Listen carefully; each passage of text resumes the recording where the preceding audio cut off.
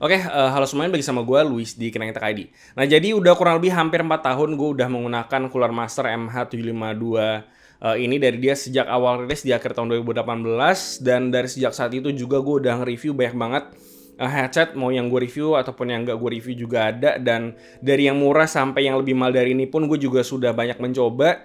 Tapi masalahnya cuman si Cooler Master MH752 ini doang yang masih pengen gue pakai sampai sekarang buat sehari-hari gitu ya dan bahkan gue nggak consider untuk menggunakan yang wireless karena uh, wireless itu biasanya ada degradasi dari sisi sound quality daripada yang kabel jadi gue tetap pakai yang ini. Dan sebenarnya di video kali ini gue cuman pengen sharing aja kira-kira pengalaman gue selama hampir 4 tahun pakai headset ini kayak gimana dan kenapa gue masih uh, ngekip atau pakai ini buat sehari-hari. Nah, mainly biasa gue pakai headset itu kalau untuk uh, biasa main game, terutama game FPS kompetitif. Karena untuk main game-game yang story mode biasanya tuh gue lebih sering pakai speaker. Gitu dan untuk dengerin musik juga untuk dapetin karakteristik suara tertentu biasanya gue baru pakai headset maupun pakai uh, headphone.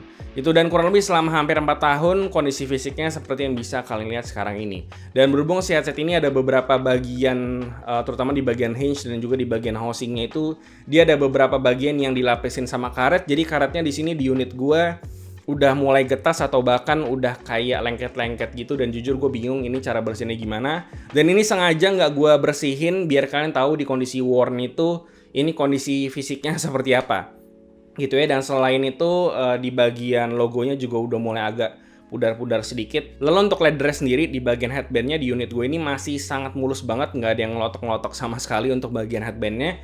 Cuman untuk di bagian ear cup sendiri yang kalian lihat ini masih mulus itu sebenarnya ini tuh udah gue ganti ke ear cup yang baru karena kebetulan uh, si Cooler Master ada dijual secara terpisah dan di earcup yang lama ini udah ngelotok dan gue baru sadarin itu kalau nggak salah sekitar di awal tahun. Jadi udah kurang lebih sekitar tiga tahun pemakaian gue baru ganti ke earcup yang baru. Dan menurut gue ini cukup wajar karena memang synthetic leather itu bukan bahan yang abadi atau tahan yang lama banget. Itu jadi memang ada waktunya itu harus diganti. Dan gue sempat lihat ada beberapa laporan di internet di Facebook komunitas dan segala macam bahwa di bagian hinge-nya ini katanya bisa copot dan bahkan bisa patah gitu ya. Cuman di unit gue selama kurang lebih gue pakai 4 tahun gue nggak pernah ngalamin isu fisik sama sekali dan kalian bisa lihat hinge-nya masih works fine nggak ada masalah. Sama sekali nih kalian bisa lihat ya nggak ada isu apa pun. Dan gue juga nggak tahu kenapa mereka bisa patah. Mungkin entah pakainya kasar atau gimana itu bisa beda. Mungkin tergantung sama penggunaan. Cuman setidaknya karena gue mungkin salah satu orang yang bisa jaga barang jadi di unit gue masih awet-awet aja. Kalau secara fungsi pun selama 4 tahun terakhir ini gue juga nggak nemuin isu apa-apa. Driver kanan dan kirinya juga suaranya masih oke okay, nggak ada imbalance dan segala macam lalu untuk mikrofonnya sendiri karena di sini gue lebih sering pakai mikrofon secara terpisah jadi mikrofonnya memang uh, jarang gue pakai cuman masih bisa nyala juga. Dan ini kalau kalian lihat ada tompel di bagian sebelah kap kiri itu ini sebenarnya adalah uh, eh, gue dulu sempat coba pakai mass drop mini mic buat iseng-iseng doang pengen coba penasaran dan ternyata pas gue cobain ribet jadi akhirnya gue nggak pakai lagi dan tompelnya gue biarin ditaruh di sini. Dan overall dari sisi aksesorisnya kayak kabel USB dan segala macam gue nggak nemuin isu apa apa sampai sekarang. Paling langsung aja gue bahas kenapa gue masih ngekip dan juga pakai headset ini meskipun gue udah punya yang lebih mahal dan wireless pula gitu ya. Paling kalau alasan utamanya itu sebenarnya ada dua, adalah dari sisi sound quality dan juga dari sisi comfortnya. Dan dari sejak headset ini rilis tahun 2018 sampai tahun 2022 ini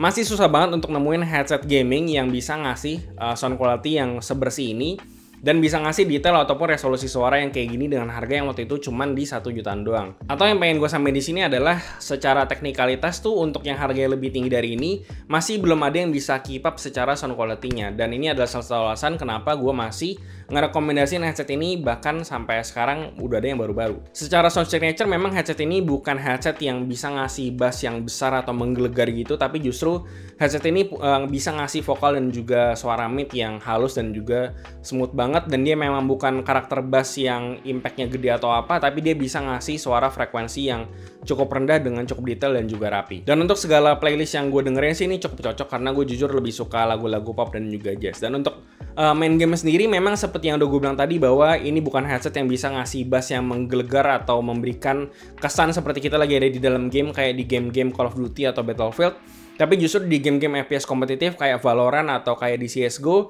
justru ini bisa ngasih suara yang terkesan clean banget dan bikin kita fokus untuk ngedengerin apa yang lebih perlu kita dengerin, contohnya kayak step ataupun uh, arah suara musuh datang dari mana. Lanjut untuk comfort atau kenyamanan, karena sekarang udah tahun 2022 dan gue udah coba sempat cobain headset dari banyak brand dan uh, gue bisa nilai bahwa sekarang tidak susah untuk nyari headset yang clampingnya itu ringan dan uh, bisa enak untuk dipakai lama, terutama buat kepalanya besar dan juga pakai kacamata kayak gue gitu tapi kalau dibandingin sama tahun 2018 yang lalu itu sangat susah untuk nyari headset yang clampingnya itu ringan dan tidak bikin kepala pusing di waktu yang lama tapi setidaknya sekarang untuk sisi comfort setidaknya udah banyak yang bisa ngasih clamping yang nyaman untuk dipakai lama. Yang terakhir sih menurut gue dari kapabilitas konektivitas USB-nya karena memang agak susah bagi kabel jack 3.5 yang langsung dicolok ke motherboard atau laptop untuk bisa ngasih power atau output yang bersih. Jadi ter, uh, berbanding terbalik sama koneksi USB yang bisa ngasih output yang suaranya itu lebih bersih.